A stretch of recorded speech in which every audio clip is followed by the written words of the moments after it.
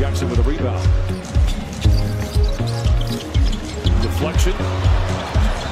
Leonard tears it away,